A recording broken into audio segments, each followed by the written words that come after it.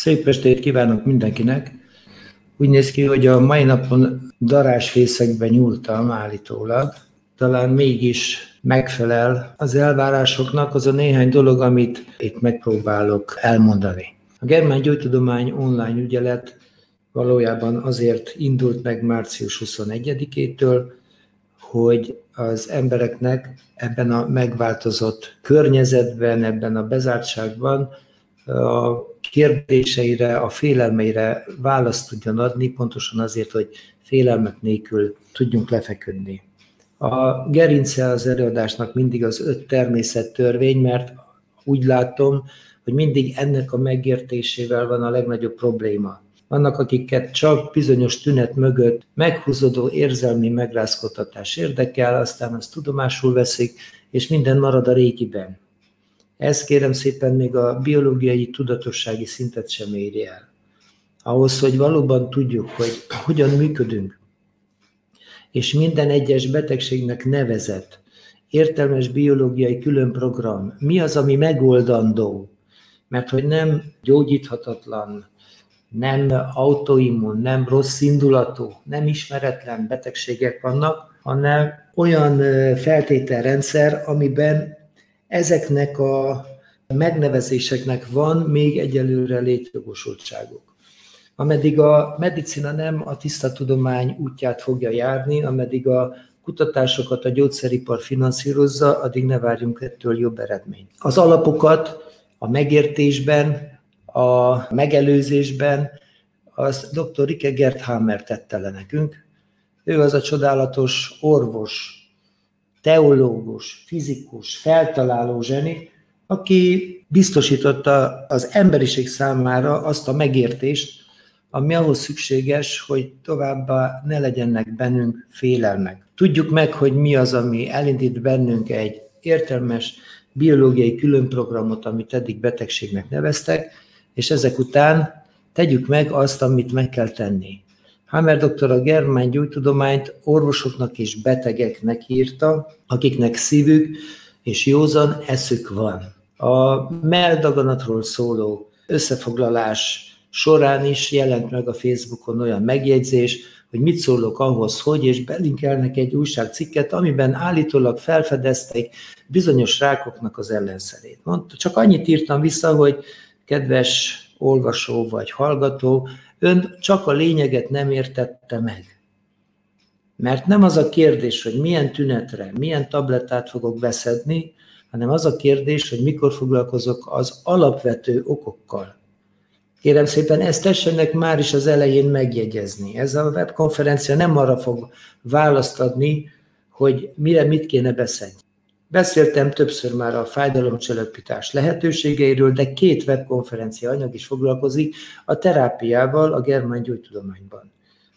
Részletes webkonferencia anyagok találhatók a weblapon, tessenek ezeket figyelmesen végignézni, mert ezek a rövid tájékoztatók, ezek nem pótolják annak a részletes anyagnak az ismertetését, csupán abból kiragadok egy-egy részletet, hogy arról esetleg az információkat felfrissítsük. Tehát a germán gyógytudomány a valós okokra mutat rá, és ezt Hammer doktor a saját bőrén tapasztalta, ugyanis a 19 éves fiának a elvesztése hozott nála egy heredaganatot. A fiát 1978. december 7-én veszítette el, ott halt meg Hammer doktor karjai között pedig 111 napon keresztül küzdött az apa a fia életéért, és két hónap múlva, 79-ben Hammer doktornak már heredaganata volt. Kemó sugárkezelést nem vállalt, de a műtétbe belement akkori tudásával, és így is az orvosok kevesebb, mint egy százalék esélyt adtak neki a túlélésre. Hammer doktor 81-ben már a Hirschau melletti ráklinikán dolgozik, ez München mellett van, és a daganatos betegeket mind megkérdezi, hogy a daganat megjelenése előtt történt-e valami nagyon súlyos érzelmi megrázkodtatás az életükben, amiből nem tudtak egyhamar kilépni, és mind a 200 megkérdezett betegnél igen volt a válasz. És Hammer doktor így fedezi föl a rák vastörvényét, tehát tapasztalati úton szerzett empirikus tudásról beszélünk.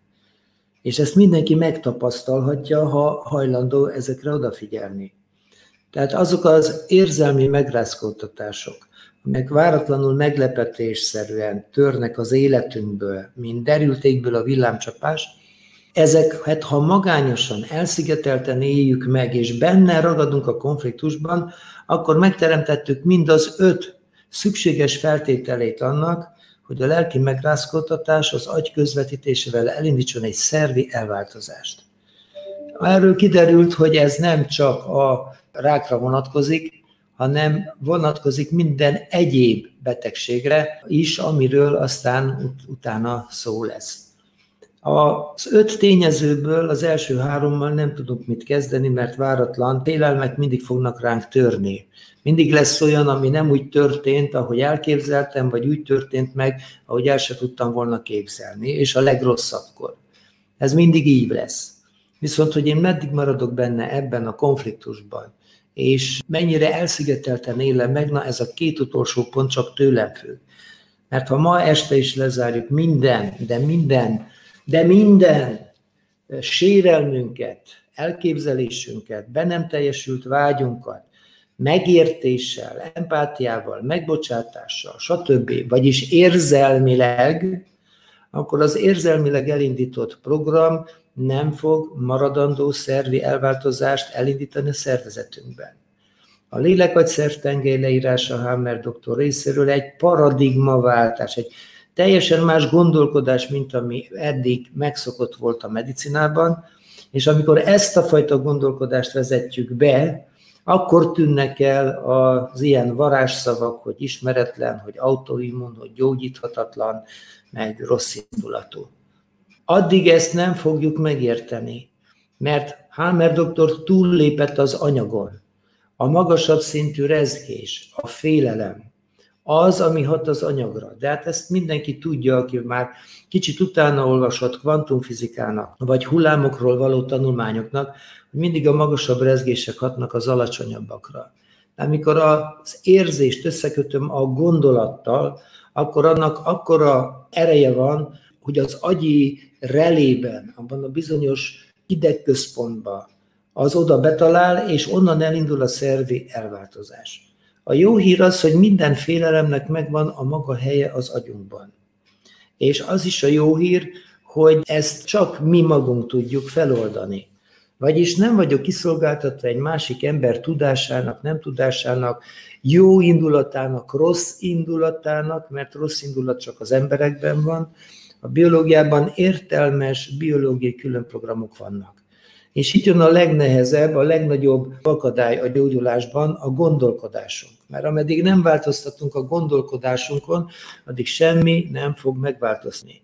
Amíg azt hiszük, hogy csupán a környezeti tényezők azok, amelyek rákot indítanak el, akkor kereshetjük a megoldást tablettákban. Kérem szépen, a környezeti tényezők hatása nem hagyható figyelmen kívül, hiszen ennek a környezeti tényezőnek köszönhetjük most ezt a kiárási korlátozást is.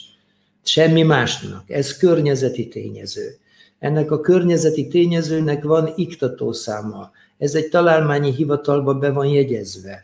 Ennek vannak feltalálói, és van tulajdonosa. Erről beszéltem már.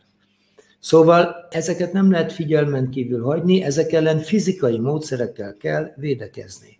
Na de, van vajon védőoltás a félelmek ellen? Nem, kérem szépen. Pont az a cél, hogy minél nagyobb félelmeket keltsenek, és minél betegebbek legyünk. Vajon kinek a célja ez? Szóval, a lélekagyszer szintén elinduló biológiai programok tartoznak bele a germán gyógytudomány tárgykörébe, és nem a környezeti tényezők által kiváltott egészségkárosodások, a sugár, a kemó, a hiánybetegség, az esztelendiéta, a balesetek és a többiek. A sinek, azok a körülmények, amelyek rögzülnek a félelem, a konfliktus pillanatában, és ezek addig maradnak fent, ameddig fel nem oldom érzelmileg mindazt, amit érzelmileg indítottam el. Nem győzöm hangsúlyozni, hogy a megoldás ez, és nem a sineknek a kerülgetése. Hiába fogunk kiköltözni nyugatra, vagy közel-keletre, vagy távol-keletre, vagy akárhova a világba, a félelmeinket visszük magunkkal. És ezek, amikor aktiválódnak, vagyis sínre kerülnek, akkor kérem szépen elindul újra ugyanaz a program. E, hogy valaki nyugodtan tud aggódni Magyarországon is, de tud aggódni Angliában is. Lehet, hogy Angliában más miatt fog aggódni, mint eddig aggódott Magyarországon, de a biológiai válasz ugyanaz lesz mind a két esetben.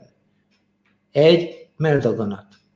Ennyi minden után nézzük meg, hogy Hammer doktor leállt-e itt, vagy folytatta a kutatást. Tehát természetes folytatta a kutatást, mert ő egy fantasztikus belgyógyász, főorvos, radiológiából is volt szakvizsgája, pszichiátriai osztályokon is dolgozott, és börtönben is volt, mert ingyen tanácsot adott betegeknek, mert ugye eltiltották a működéstől, nehogy terjedjen a hír, hogy van megoldás.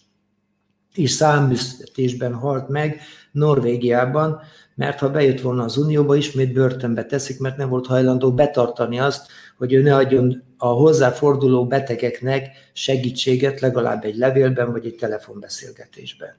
Elképesztő időket élünk, tiszta középkor. Csak más eszközökkel teremtenek félelmeket, mint a középkorban. De szerintem ez sokkal sötétebb időszak, mint a középkor volt.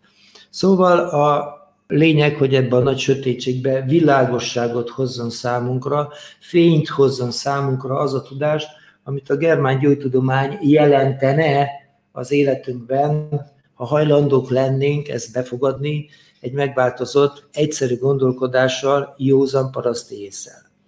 Tehát ez a belgyógyász főorvos, ez a tüneteket megnézve kiderült, hogy a tünetek, ugye, ha osztályozzuk, akkor hideg és meleg tünetekre oszthatjuk. A hideg tüneteket kék színnel jelzi Hámer doktor a konfliktus aktív szakaszban.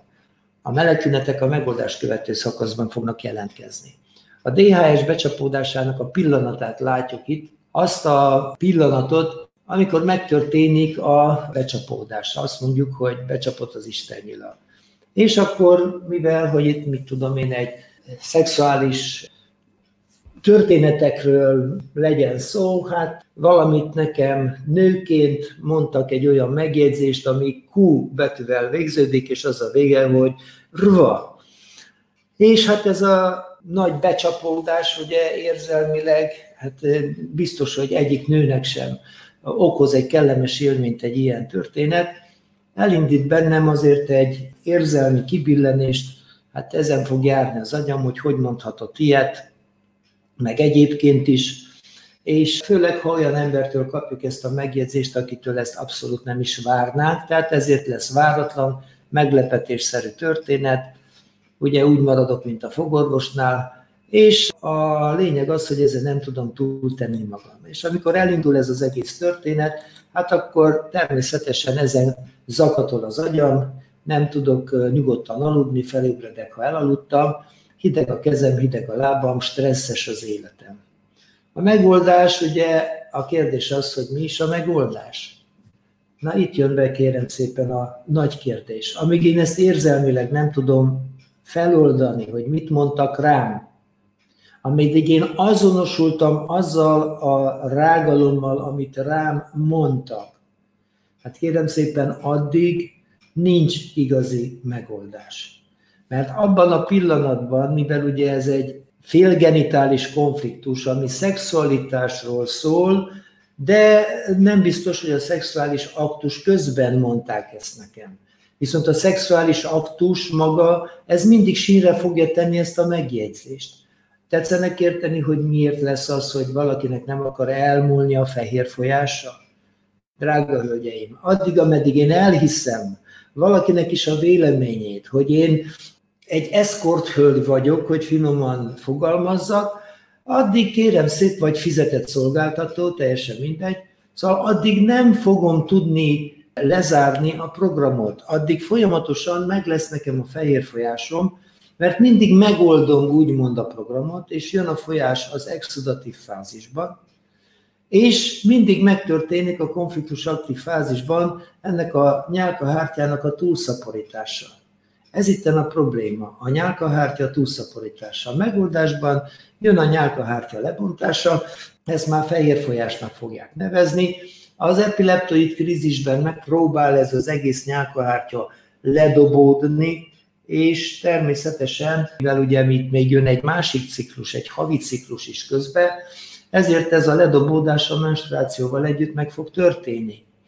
Csak hogy a probléma megint újra kezdődik, és megint megtörténik egy szexuális aktus, és megint sínre kerülök, és megint túltermelem a nyálkahártyát, és megint megpróbálom az egészet lebontani, és megint van piros vérzés, fehér folyás, és vannak nők, akik ezzel már úgy kibékültek, hogy egyszerűen ezt tartják természetesnek.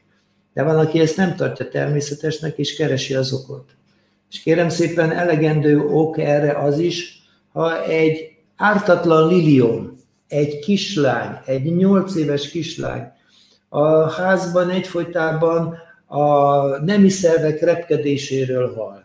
Mert mindenféle drágár szavak, szavakkal illetik egymást a felnőttek. Úgyhogy a, a péniszek vini az a pont a mondat végén. Tessenek szíves lenni, a stíluson változtatni, hogy ezeket a dolgokat egyáltalán ki lehessen kerülni. És a nyolc éves kislánynak még semmilyen menstruációs ciklusa nincs, de már van fehér folyása.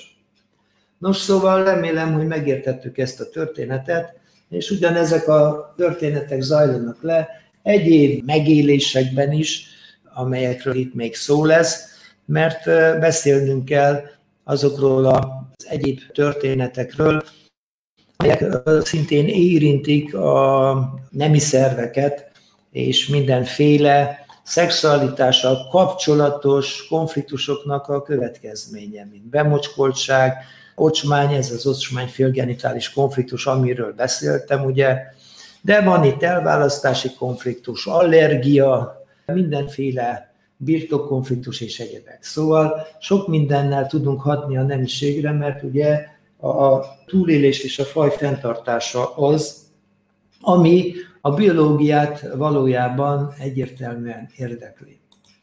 A harmadik természettörvény felfedezése úgy történt, hogy Hammer doktor az alapokig visszalapozott, és kiderült, ugye ezt mindannyian tanultuk, akik biológiát, medicinát, állatorvosit vagy egyéb biológiával kapcsolatos dolgokkal foglalkoztunk, hogy mindenki ugye a megtermékenyített petesegből alakul ki, ezt remélem minden laikus ember is tudja, hogy nem a gólya hozta, és a megtermékenyített petesejt sokszoros osztódása után a soksejt átalakul három csiralemezé, amit itt látunk, ugye sárga, narancs és piros színekkel ábrázolva. A belső csiralemezből származó, endodermából származó sejtjeinket a legősibb agyi központ a agytörzs irányítja, itt látjuk nyílirányú metszetben, és itt a sárga mezőben látjuk a koponyanappal párhuzamosan készült síkban. Tehát ha csinálok ebben a síkban egy metszetet, akkor ezt fogom látni, ami mögötte van, itt narancssárga, sárga színekkel, az ez a rész, amit itt ábrázol Hammer doktor, mire az már a kisagy. De a kettő együtt alkotja az ős agyat, és ezek mind a ketten olyan programokat indítanak el szervi szinten, hogy először szaporodnak a sejtek, majd a megoldásban lebomlanak. Az endoderma sejtjeinek az a feladata, hogy biztosítja a saját túlélésünket. Itt még nem beszélünk jobb vagy balkezességről. Vagyis szükségünk van táplálékra, levegőre, vízre, fényre és hangra, és ezek biztosítása, tehát az életfeltételek biztosításához úgy van ezekre szükségem, mint egy falat kenyérre, tehát nem csak kenyérrel él az ember, és ezért falat konfliktus lesz a levegőfalat konfliktus, a vízfalat, a fényfalat és hangfalat, ezekről mind-mind a falat konfliktusokról szóltunk. Szeretném megmutatni, hogy itt középen ez a nagy-nagy relé, ez pontosan a mély nyálkahártya, illetve férfiaknál a prostatának a reléje. És ide csapódnak be a fél genitális konfliktusok, ami a férfiak esetén semmi más nem jelent, mint hogy bizonyítani szeretném a férfiasságomat a partneremmel kapcsolatosan, és ez a prostatasejtek túltermelését fogja elindítani. Így van, uraim? És ezekről van külön webkonferencia, a Férfi Bajok című webkonferenciában, csak éppen meg kellene nézni, és tisztázni kéne, hogy melyik az a történet, amiben én bizonyítani akarom a férfiasságomat. Az a gond, hogy megjelent valaki a láthatáron, egy rivális, és talán lecsapja a feleségemet? Nem.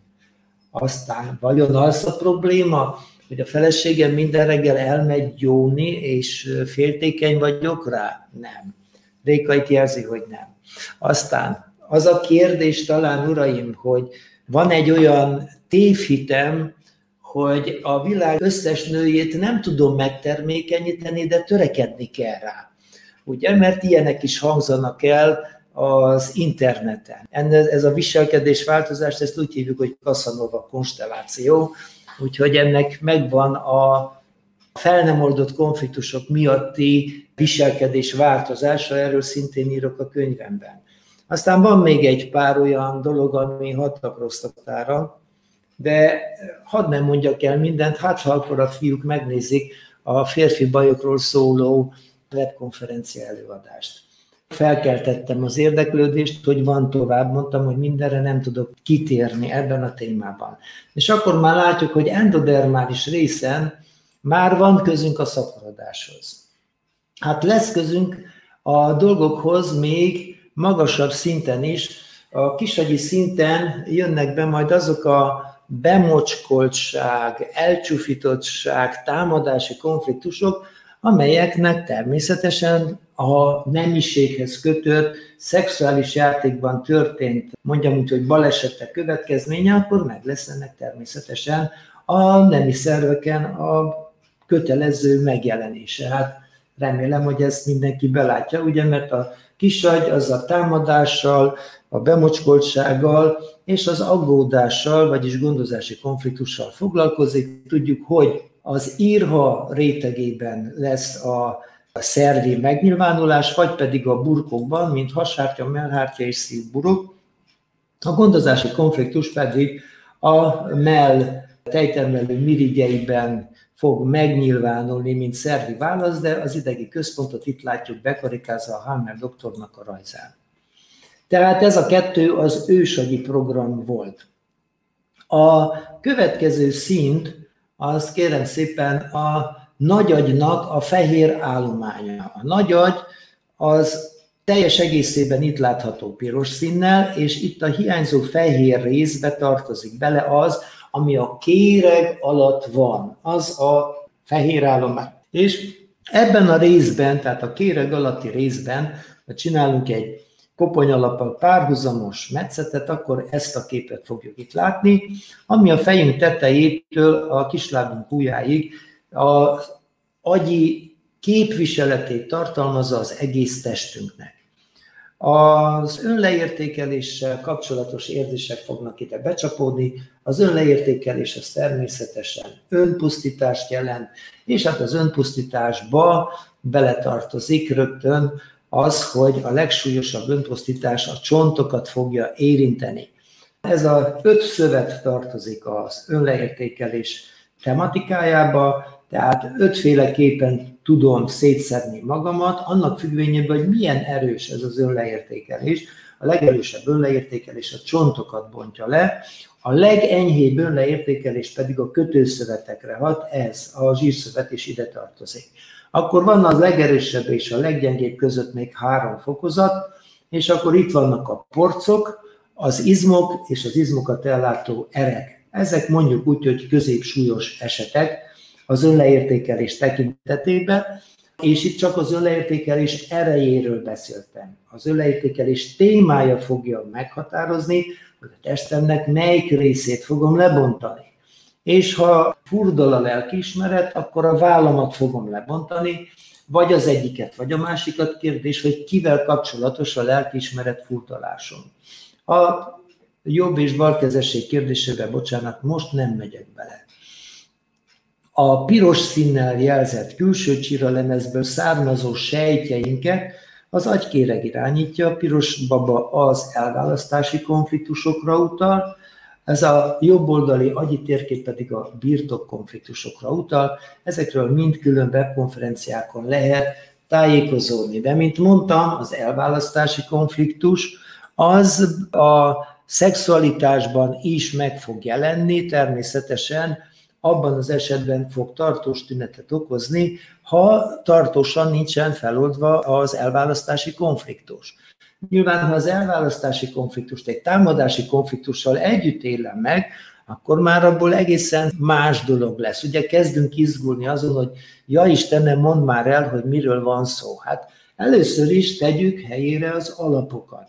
Mert ha megértettük az alapokat, hogy hogyan működik, onnantól fogjuk megérteni a szervi szintű elváltozást. Kérem szépen, az a gond, hogy mindig csak a szerveket akarjuk megérteni, és nem azt, hogy az miért működik úgy, ahogy működik. Ez itt a lényeg. Ezért nem ajánlom senkinek se, nem az eredeti munkákat olvasni, hanem valakinek a találmányát, akit szervek szerint atlaszba összefoglalva taglalja, hogy mit és hogyan lehet megérteni. Az alapvető gondolkodást ez az ábra adja. Éngem ez, ez babonázott meg, mert itt döbbentem rá azokra az összefüggésekre, amelyekre addig nem. Mert mindenki levizsgázott embriológiából, aki tanult medicinát, és utána el is felejtette, hogy a következő adag vizsgára az agyát szabadá tudja tenni. Soha nem használjuk a receptírásban az embriológiai tudásunkat. Most már nem írok receptet, de mindent megértek az embriológia által. Ez a hatalmas különbség. Nekem tapasztalatom van arról, hogy ennek a rajznak és ennek a gondolkodásnak meghatározó jelentősége van a germángyógytudomány tekintetében.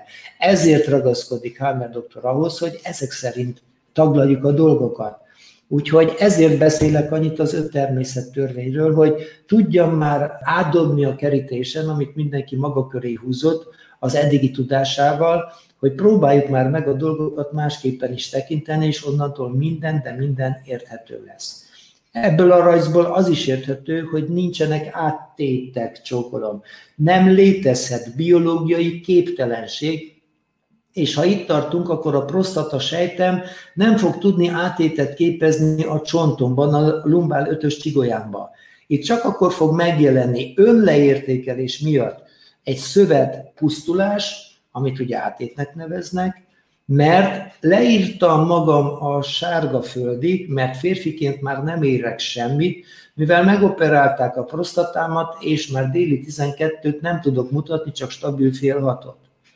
Vagy ugyanez a történet, kérem szépen, a mély nyálkahártyával, amiről azt mondják a nőgyógyászok, hogy endometriózist okoz. Az endometrium az a mély nyálkahártyának a a hivatalos megnevezése. De a mély nyálkahártya képtelen kimászni a mély üregéből, hogy a hasüregbe szétszórtan ösztrogén termelő szigeteket hozzon létre, Hát ha már valami ösztrogén termel, akkor nem logikus, hogy az a petefészekből származik, és nem a mély nyálkahártyából. Hát kézen fekvő lenne a magyarázat, de nem, ez endometriózis, és ez egy megmagyarázhatatlan valami, és stb. és stb. Szóval elképesztő, hogy mekkora rendetlenség van a mai medicinában. A rendet, a megértést az adja, ha ennek a képnek az alapján fogjuk megérteni az egész medicinát, függetlenül, hogy valaki szemészettel, gyógyászattal, vagy éppen sebészettel foglalkozik. Teljesen mindegy, hogy mivel működik, milyen szakágat folytat, a lényeg az lenne, hogy lássa az embert egészében és nem csak azt az egy szervét. Zárójelben megjegyzem, hogy viccesen a fogorvosokat úgy engedték el az egyetemről a ballagáskor, hogy a rektor azt mondta, hogy kedves kollégák, ne felejtsék el, hogy a fogó másik végén egy érző ember ül. Na, akkor remélem, hogy ezek után mindenki megérti, hogy miért töltök én el ennyi időt az öt természet törvényel, és miért tartom ezt ennyire fontosnak. Na most már, ha tudjuk, hogy minden sejtünk, születünk a három csíralemezből fejlődött ki, akkor most már azt is kéne tudjuk, hogy ebből a rengeteg sejtből, amiből föl vagyunk épülve, három dolog lehetséges. Vagy sejtet szaporítok, vagy sejtet sorvasztok, vagy működést változtatok. Nincs negyedik. Nincs negyedik. Bármi történik a, a szervezetünkben, ezt a három dolgot fogjuk találni. Hogy mellékesen kineveznek egy laborértéket hibásnak, az egy teljesen más dolog. Hogy egy működés változást nem akarnak megismerni. Mert azt mondják, hogy a Parkinson-kort a dopamin hiány okozza. Tényleg? Hát ha adunk dopamint, nem remeg a beteg. Tényleg? És akkor, ha nem adok, akkor miért remeg megint? Jaj, mert akkor ez egy nagyon jó üzlet. A Parkinson-kort egy fel nem oldott, mozgással kapcsolatos konfliktus okozza, ami a dopamin hiányt fogja következményesen előállítani, és természetesen a remegést. Hogy a kedves beteg jusson el oda, hogy vagy elengedem a múltat, vagy ragaszkodok hozzá, de döntsem el, hogy most már megfogom, vagy elengedem, megfogom, vagy elengedem. Mert ha ez eldöntöttem, akkor eltűnik a remegés.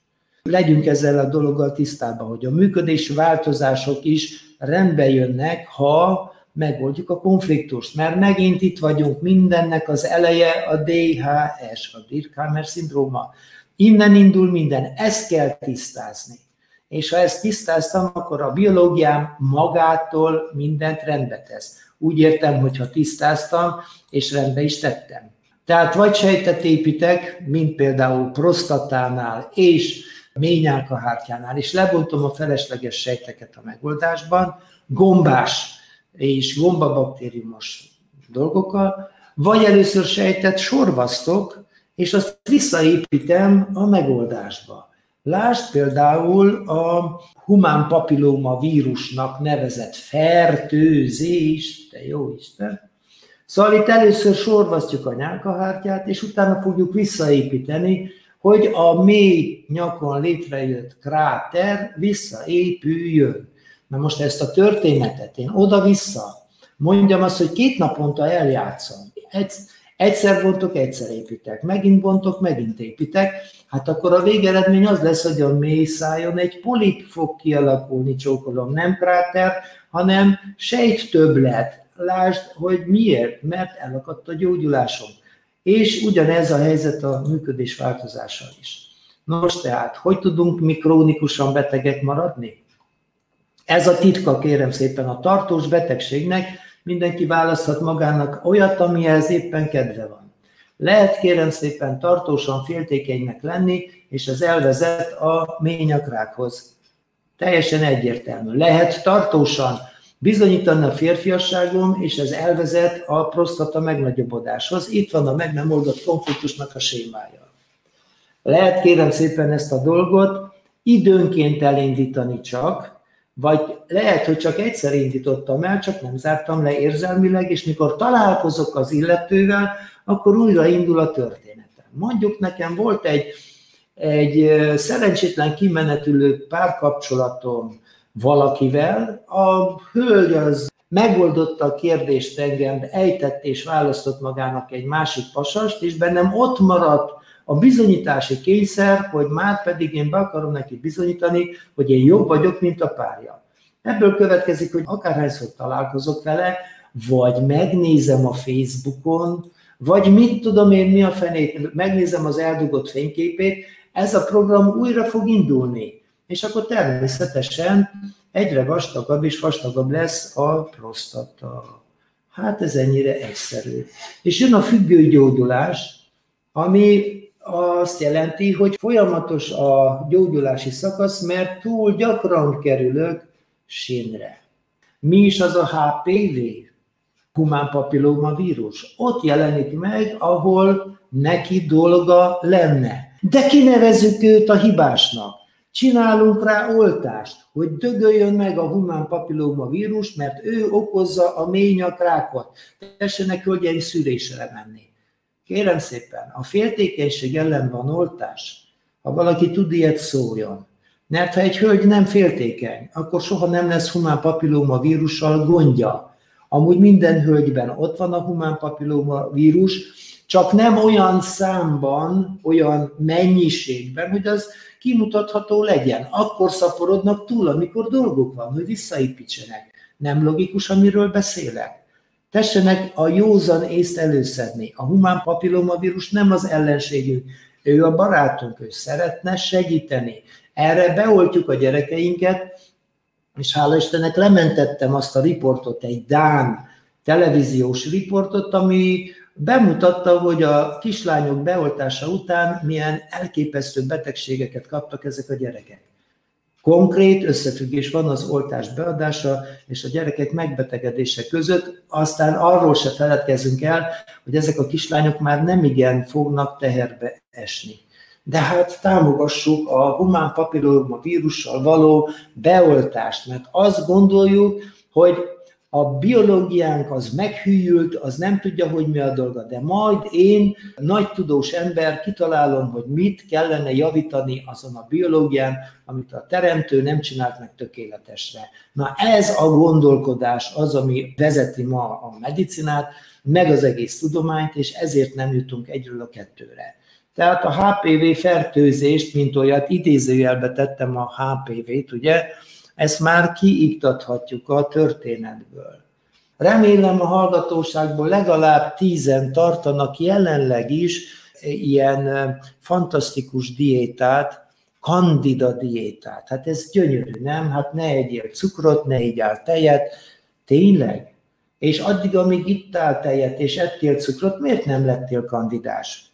Mi köze van hozzá? Jaj, nem etetjük a kandidát, vagyis még mindig nem a kiváltó okot szüntetem meg a kandida számbeli fölényét, hanem nem etetem, és úgy gondolom, hogy éhen halnak szegény gombák. Hát elképesztő. A gombák nem, de mi igen. A megváltozott táplálkozással olyan májprogramot csinálunk, hogy ihaj. De hát ez a tudatlanságnak az ára. Szóval a kandidának, meg minden gombának megvan a maga feladata, amikor falatkonfliktust, vagy ilyen ocsmány-félgenitális konfliktust kell lebontania, és mindig a megfelelő gombák fognak létrejönni. Az erdőben is változatosak a gombák.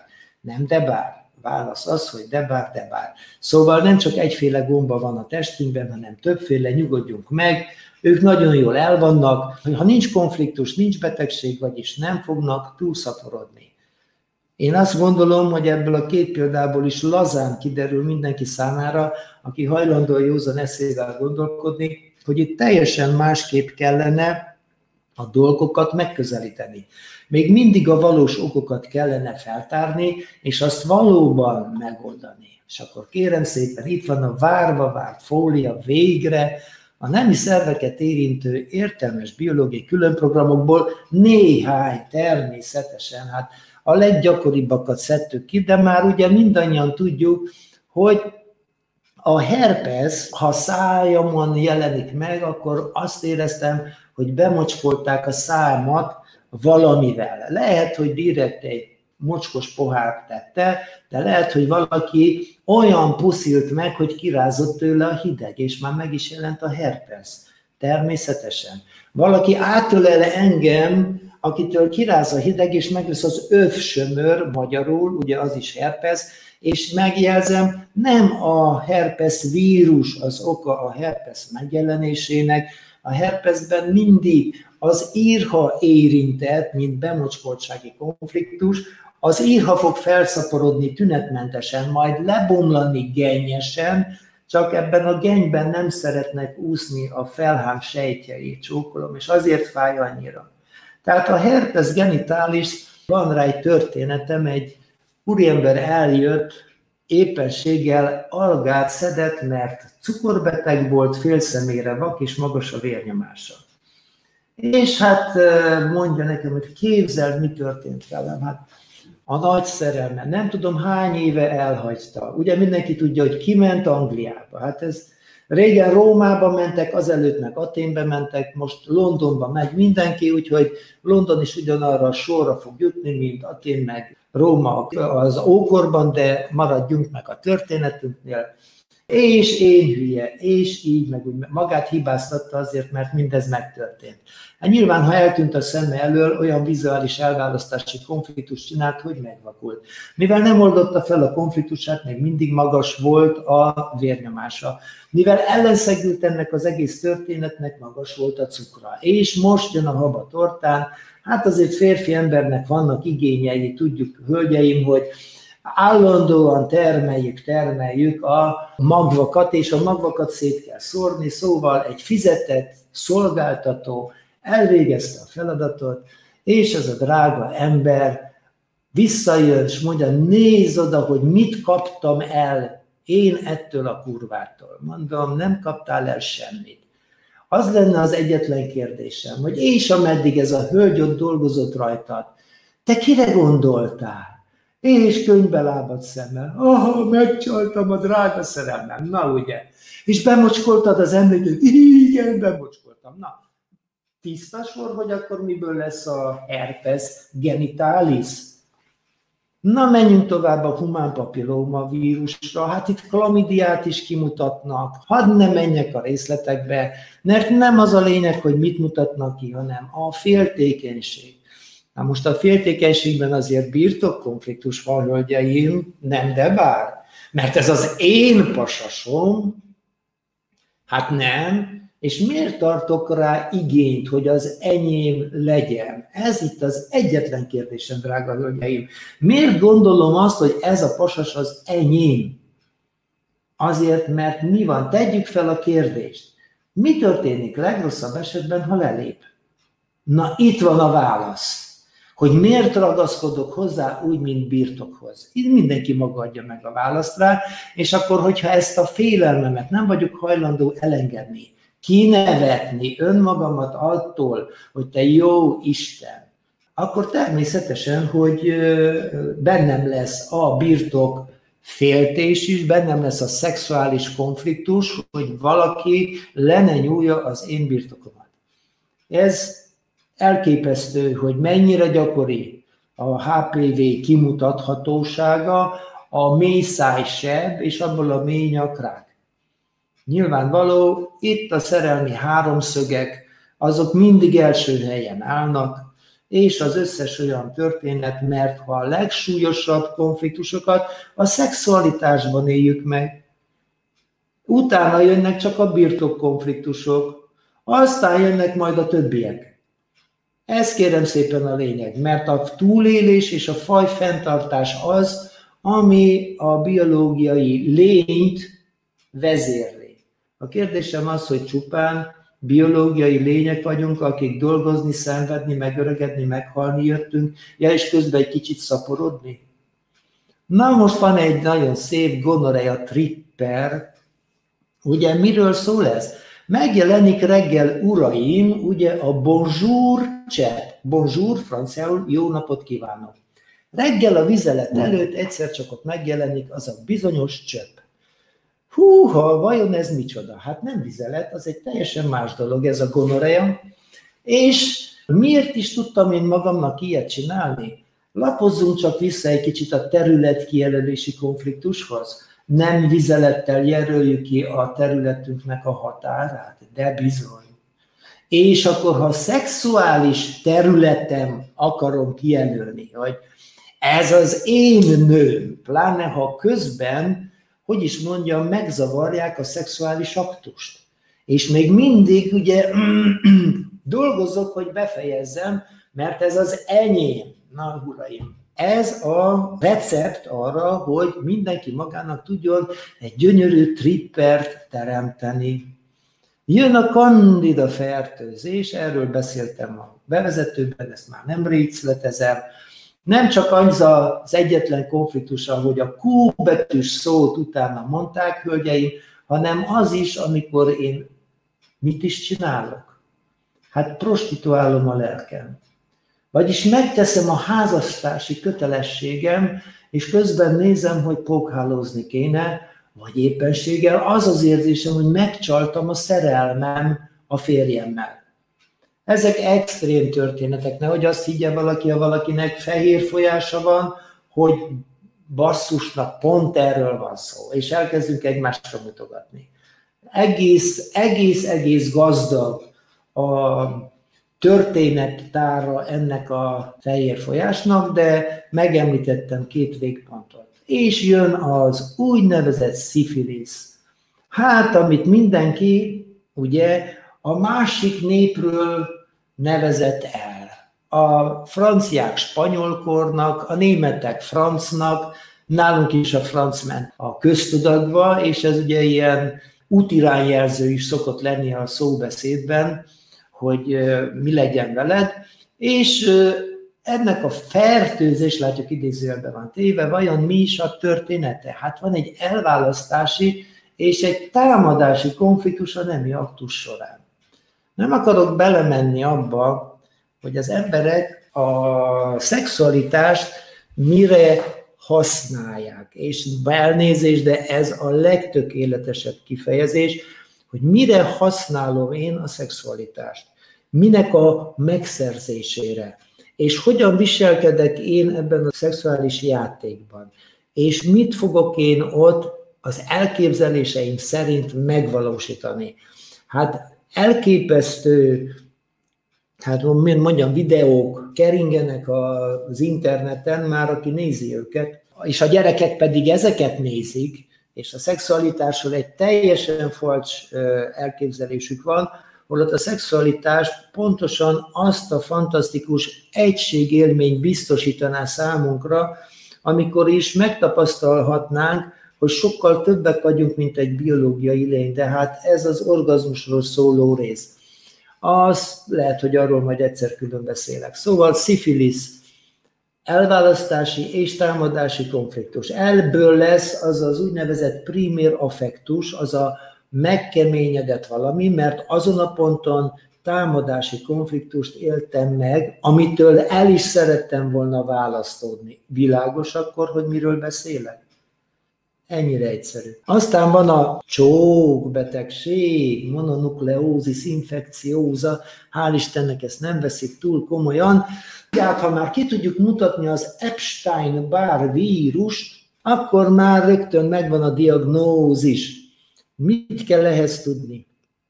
Annyit, hogy én már nagyon vágyom a másik csókjára, úgy, mint egy falat kenyére.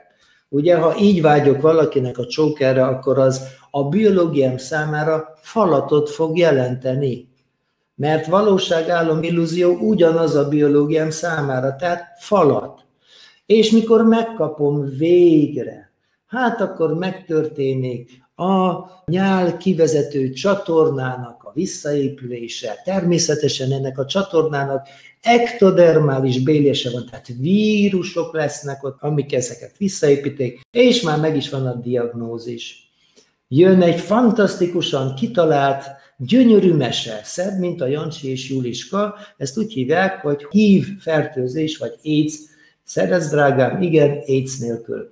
Szóval miről szól ez az AIDS, vagy hív fertőzés? Teljesen mindegy, hogy minek nevezzük, és hogy különbséget teszünk a kettő közt, vagy nem ne a részletekbe vesszünk el, hanem a lényeget értsük meg.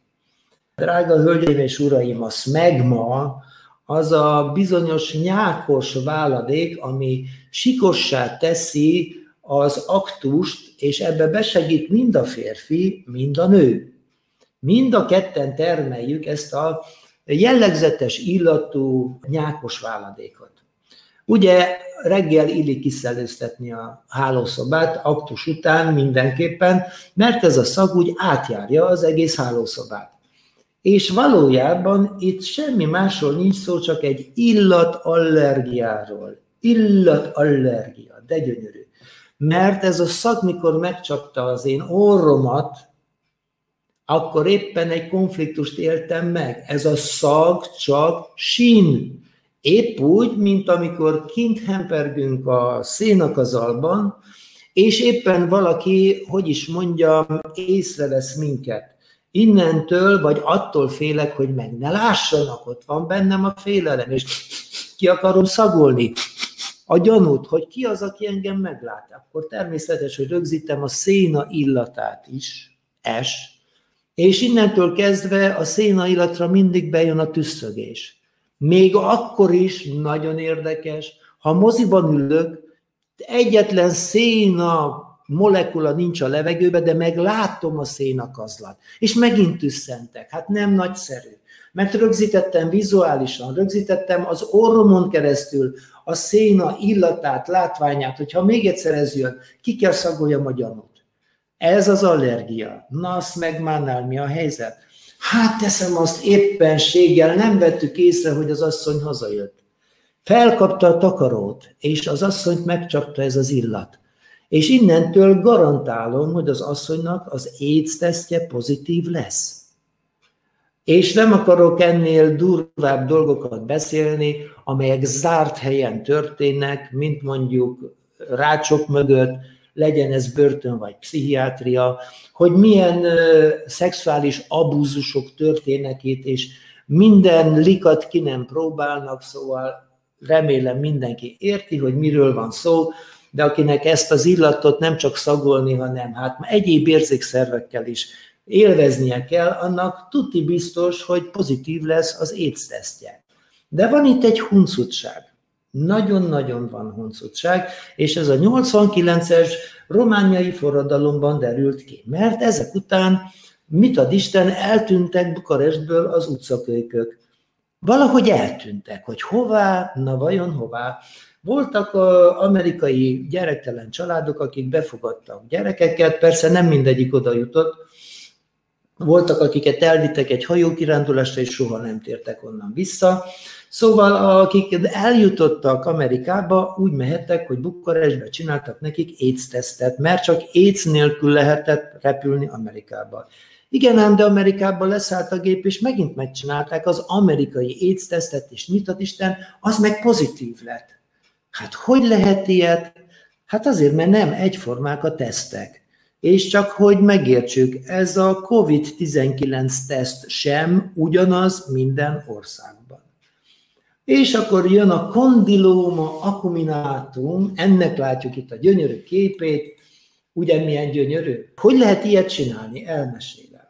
Nem kell más hozzá, csak egy elválasztási konfliktus függő gyógyulásban, mert ugye mikor elválasztási konfliktus, tényleg meg konfliktus aktív szakaszban, akkor csökkennek a sejtek számai. Megoldásba elindul a sejtek visszaépítése, de nem fejeződik be, mert megint konfliktus aktív fázisba kerül, hogy egy inszur kap inszurkát, és a következő építés már egy nagyobb sejt rétegről indul, mint ami volt, és ez újra és újra megtörténik, és így tudok a kicsinykóból egész ilyen szép kakastarét építeni, vagy magyarul hegyes függőinek is nevezik, a más nyelven kondiloma accumulatum. Hát ebből egy nem magyar nyelvet beszélő ember nem tudom, hogy mit ért meg, de ha azt mondom, hogy kakasterei vagy hegyes függői, azért az mégiscsak megadja azt a képet, hogy el tudjam képzelni, hogy mi az. De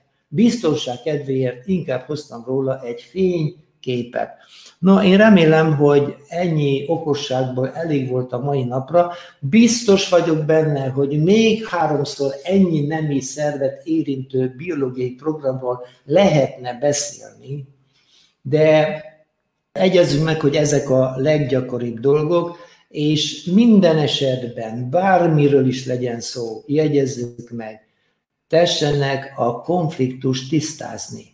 Mindenképpen van köze a nemiséghez, a nemi szervhez, az aktushoz, vagy a képzeletbeli aktushoz, mert valóság, álom, illúzió ugyanaz, ami nagy okos agyunknak. Az ötödik természettörvényt hagytam a végére, mert rájövünk arra, hogy még ezekben a programokban is a túlélésről és a faj fenntartásáról van szó. Remélem ezt mindenki megértette, és meg tudna nyugodni, és le tudná zárni a mai napját békével. Az lenne a legjobb megoldási kulcs a mai napra is. Én köszönöm mindenkinek a figyelmét, remélem rájöttünk arra, hogy a germán gyógytudomány a valódi tudomány, a valódi medicina, azzal együtt, hogy a mai modern medicina rengeteg jó dolgot is felfedezel. Itt most nem azt kell eldönteni, hogy vagy ezt, vagy azt, hanem a kettőt össze kéne adni úgy, hogy megszabaduljunk mindentől, ami nem szolgálja a beteg érdekét. Én még mindig betartom az orvosi eskümet, és a nem ártani, nil nocere fogadalmam. Jó lenne, ha ezt minden orvos komolyan venné. Nem kell állatkísérlet, nem kell statisztika, csak érzelmileg kéne megoldani mindent, és akkor nem lennének krónikus betegségeink. Köszönöm mindenkinek a figyelmet.